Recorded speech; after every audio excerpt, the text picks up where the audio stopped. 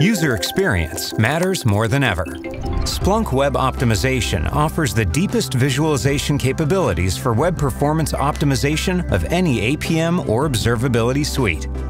View all of your performance defects in one place, sort defects by third party, and understand which defects belong to dev, IT ops, or design teams. Performance reports provide complete breakdowns of defects and areas of improvement, with detailed summaries on severity and impact. Over 300 best practice recommendations provide step-by-step guidance on how to improve performance, from the web browser to the server, image optimization, JavaScript, CDNs, and more. Embed performance earlier in your DevOps processes. Jenkins Integrations helps you test if new code meets performance standards and provides pass-fail grades based on your pre-configured performance budgets and standards.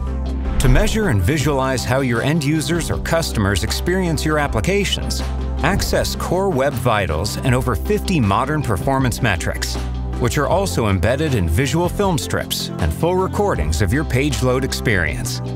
Waterfall charts segment poorly performing resources, content, domains, and third-party dependencies.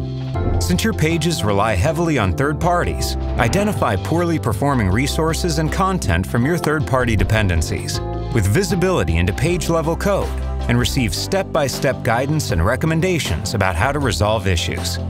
Splunk Web Optimization helps you easily find and fix performance problems, so every time you release new features, you can ensure that you keep your users happy.